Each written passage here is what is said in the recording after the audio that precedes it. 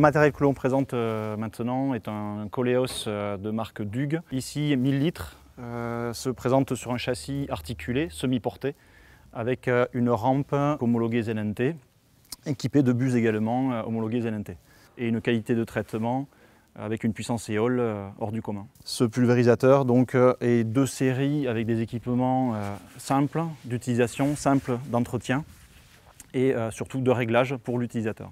Donc la maniabilité de ce pulvérisateur euh, est liée directement à la partie semi-portée collée au tracteur qui va permettre au tracteur de venir à plus de 90 degrés pour faire un rayon de braquage extrêmement court.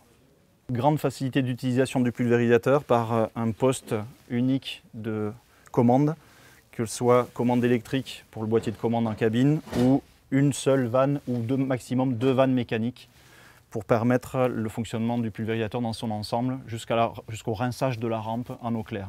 Une filtration, pour la pulvérisation, une filtration pour la récupération des panneaux récupérateurs et une filtration de aspiration, pompe, pulvérisation.